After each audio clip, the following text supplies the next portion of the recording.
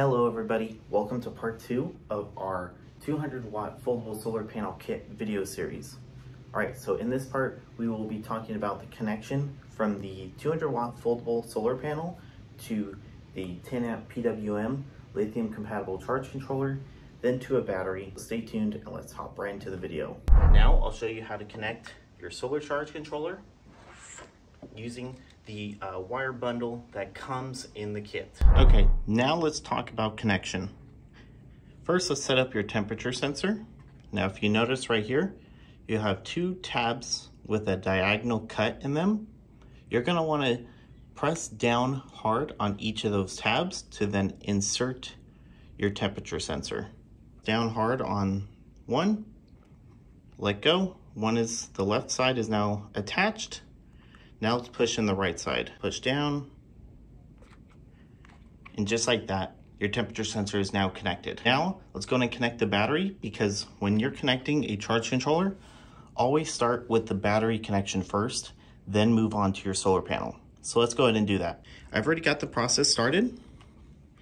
So now let's go ahead and just tighten up these. Don't have it connected to your battery yet. You just tighten these up right here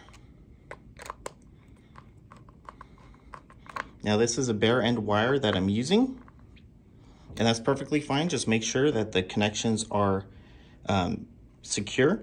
On your controller, on the bottom, you'll be able to see where the positive and negative is. So it's super easy, super simple. All right, so now let me go ahead and show you how to connect it to your battery. That too is super simple.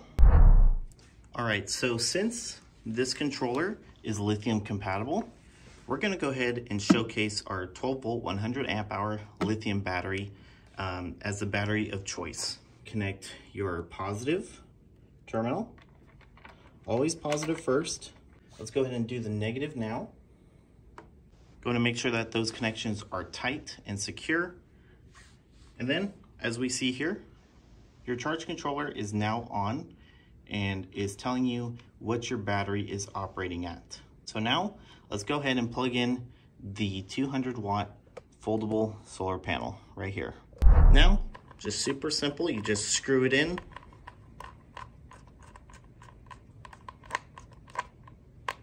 Tighten it up, just like that. Positive is done. Do the same thing for the negative. Go ahead and tighten the connection. All right, all your connections into the back of the charge controller are now complete.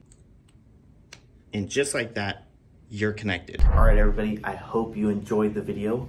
If you liked it, please make sure you like, comment, and subscribe. If you have any questions, please make sure you drop them down below in the comment section or on our forum page. Link is in the description below. Part three is coming out soon, which we are going to be talking about um, the Bluetooth functionality of the controller itself, as well as what the indicators mean. So stay tuned. Part three is coming out soon. Hit that notification bell to be notified. All right, everybody, this is Domenic from Newpowa, and I'll see you on the next one.